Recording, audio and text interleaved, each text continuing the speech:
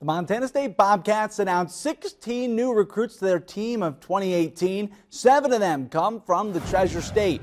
Recruiting in the state of Montana is the most important offseason piece for the Bobcats, and they succeeded in bringing some of Montana's best players like seniors Nolan Askelson, the AA Defensive Player of the Year, and Huntley Project's Lane Sumner.